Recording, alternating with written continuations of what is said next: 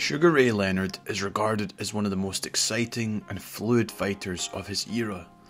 With beautiful footwork, fantastic combinations, and devastating knockout power, Leonard has to be one of the most exciting fighters to watch, past or present. Having won world titles in five weight divisions, an Olympic gold, and being part of the famous Four Kings, there's no denying that Leonard has to be one of the greatest fighters this sport has seen, even if he did have the most retirements and comebacks I can think of. In this boxing style analysis, I'll be taking a closer look at Sugar Ray Leonard's actual fighting abilities, which got him to boxing stardom. But first up, let's take a look at Leonard's background. Born in North Carolina, a young Leonard would soon move to Maryland at a young age. It was here he took up the sport of boxing due to his older brother Roger, who was already boxing at the time, encouraging a young Ray to start up boxing. He would enter the amateur system and see much success, winning multiple national and Golden Glove championships. From here, he would be noticed and picked up from the US boxing team. Due to Leonard's first name being Ray and his flashy but devastating style in the amateurs, it was only a matter of time before people would start calling him Sugar Ray. Obviously, after the man many consider the best boxer of all time, Sugar Ray Robinson. Ray then went on to win gold at the Pan American Games and gold at the Montreal 1976 Olympics, which cemented his legacy. Finished with an incredible amateur record of 165 for 5 and 75 KOs. Due to some personal issues after the Olympics, he had to support his family by turning professional instead of going to college. Once a pro, Leonard competed in the welterweight division where he made a quick and steady rise, defeating the likes of Floyd Mayweather Sr. and former amateur rival Randy Shields. He would then get his chance against Wilfred Benitez for his first world title in what was a classic between two up and coming stars. Leonard would then go on to have famous back to back fights with another king, Roberto Duran, where he would lose the first, but forced Duran to famously quit in the rematch, which is now famously referred to as No Mas. Sugar Ray then faced the much feared Tommy Hearns, who he knocked out in their classic fight in 1981. Sugar Ray Leonard's famous retirements and comebacks would start to take place in the latter part of his career. The most famous comeback of all was against undisputed middleweight champion Marvin Hagler, which to many is one of the most controversial fights, as Leonard won it in a split decision. Leonard would then retire again before winning and taking up the opportunity to win the new WBC super middleweight title and the WBC light heavyweight title against Canadian Donnie Lalonde, before taking up some other big paydays to fight Hearns and Duran once again. There's no denying Leonard had an eventful career with some brilliant defining moments, which fans still cherish to this day. There may be some fans that are split regarding some of the fights throughout his career, but despite what you think, he was an incredibly exciting fighter. Now, let's go into detail about how Leonard made his career so successful with his boxing style. Sugar Ray Leonard's boxing style. Leonard was very much a boxer puncher, where he would mix up being an out puncher, gliding around the ring with his footwork, before quickly stepping up his attack by looking to counter or use his devastating combination punches to hurt or take out his opponent. In an interview with ABC, they compared him at one point to being the next Ali, asking him how that sat with him. However, his response was interesting as he talked about his influencing styles, which made him the fighter he became. He said, It was very flattering and very stimulating. I watched Ali, studied Ali, I studied Sugar Ray Robinson. I watched them display showmanship. I watched them use pizzazz, personality, and charisma. I took things from them and borrowed things from them because boxing is entertainment. Boxing is a sport, but it's also entertainment. I wanted to transcend the sport and be considered not just a fighter or a champion, but someone very special. From watching his fights throughout his career, I have to admit, I very much see the outfighter movements of Ali and the killer combinations of Ray Robinson adapted into his own style. But most importantly, he wanted to entertain. He understood that. This is sometimes, however, may not be a good thing, as we've seen in some of his closer fights or losses. I always thought it was interesting that one of Ray Leonard's biggest inspirations was Bruce Lee, and you can very much tell from watching Leonard that he put into practice the thoughts and teaching of Lee. Here's what Leonard had to say about it. I've told people all over the world that Bruce Lee was one of my idols, uh, mainly because of his of his mental stability, because of his fighting spirit, because it was more it was more mental than just physical. For him, it was like what he called emotional content, and for me, that's when I succeeded when I had to face major obstacles and major opponents like Tommy Hearns, Roberto Duran, Marvin Hagler. Because of my mental stability, I was able to beat those guys. Now it's important to break down each of the individual elements which made Leonard so successful. The lead hand. This was the cornerstone of Ray Leonard's success in the ring, as everything for the most part would come off his jab or lead left hand.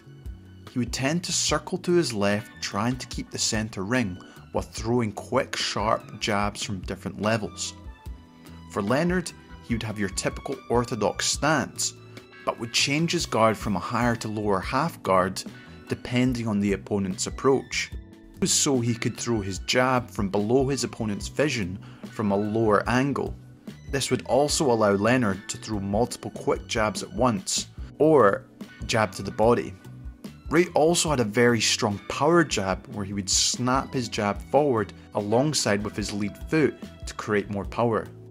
Another part I loved about Leonard was the way he would use defensive movement to throw the jab before quickly firing back with his own jab to the body or the head or even change it up by using a sneaky slap left hook.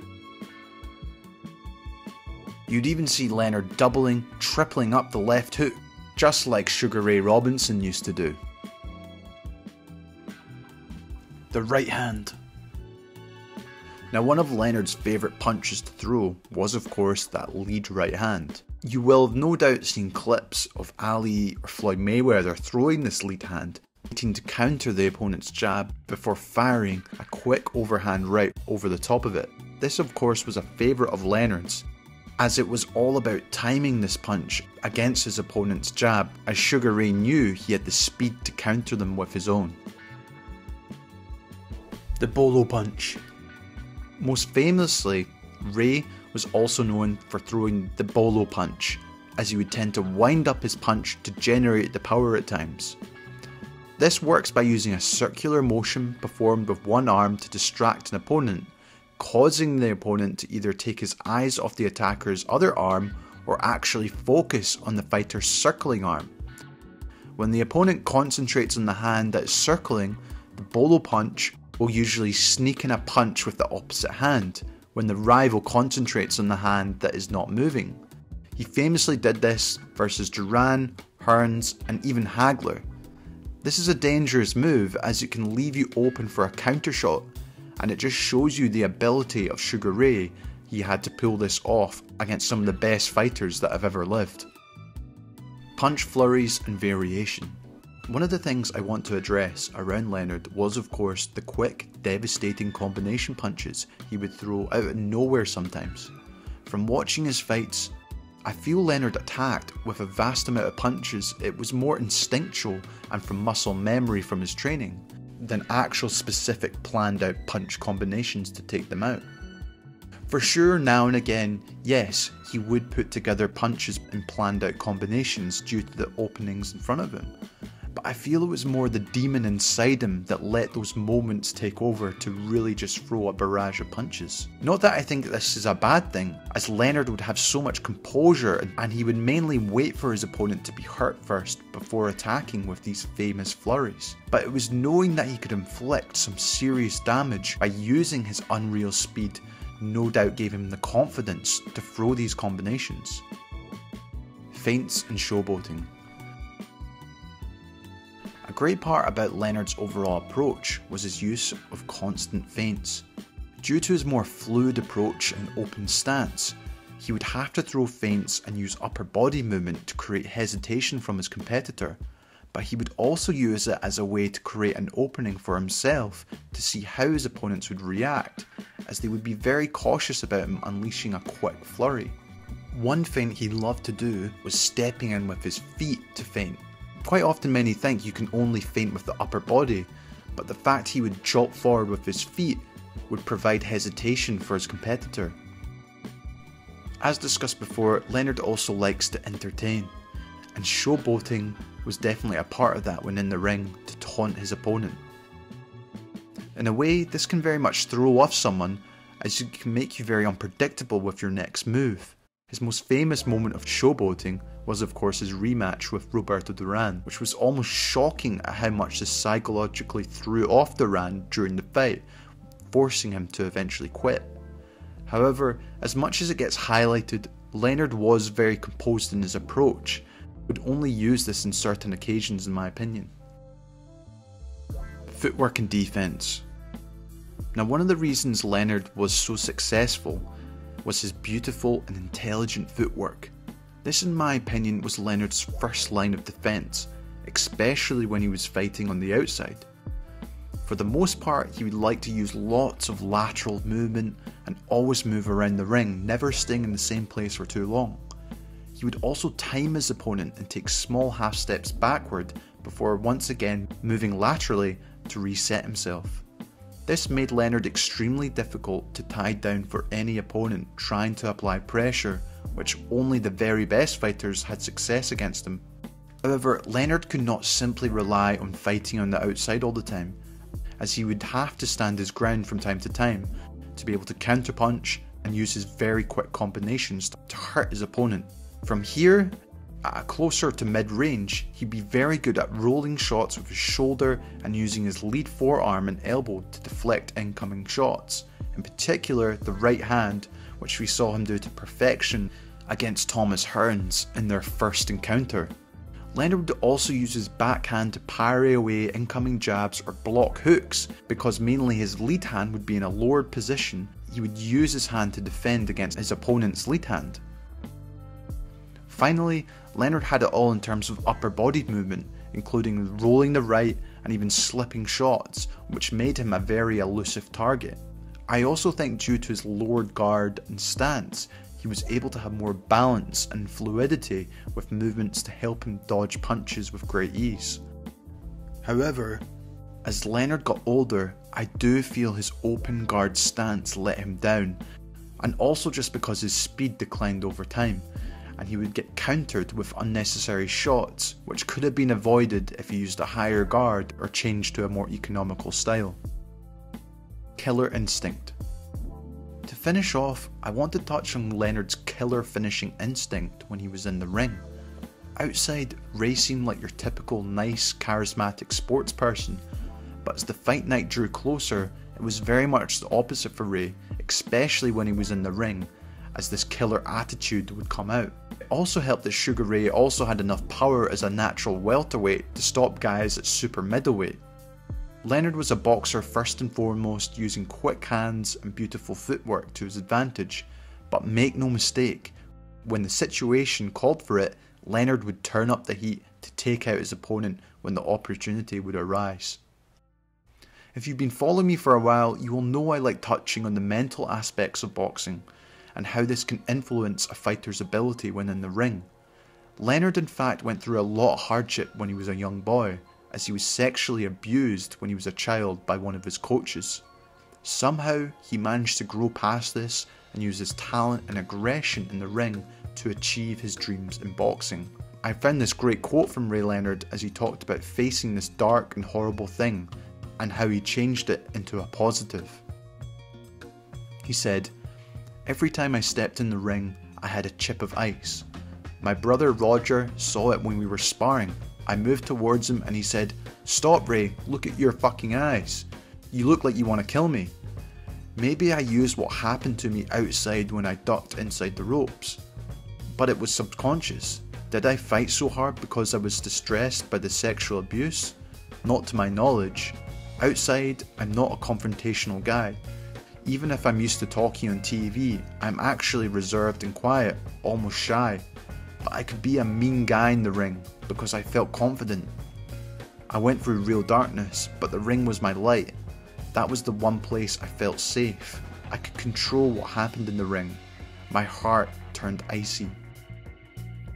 Although Leonard didn't open up about the sexual abuse he received until later in his life, it's a great lesson for us all. Even going through pain, he was able to push through by focusing on his passion to achieve the dream career despite this horrible occurrence happening to him.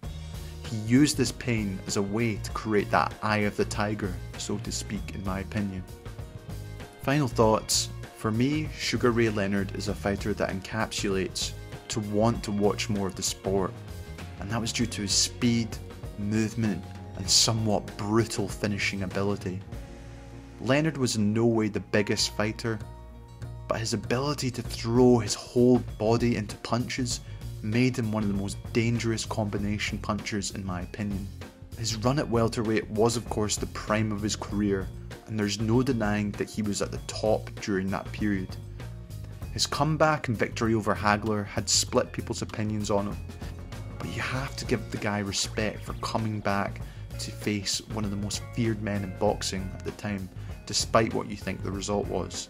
If you're someone who has speed and likes to box on the outside and use quick combinations, Leonard is a brilliant example to study. And that wraps up this boxing style analysis guys. I hope you enjoyed this video. Make sure to hit that like button, it really helps out the channel. If you're new here, why not subscribe? Make sure to comment below, let me know your thoughts on Sugar Ray Leonard. Is there a specific fight that you enjoy watching? I also recommend you check out my boxing analysis on another king, and that is of course Marvelous Marvin Hagler. As always guys, thanks so much for watching, and I'll see you in the next one.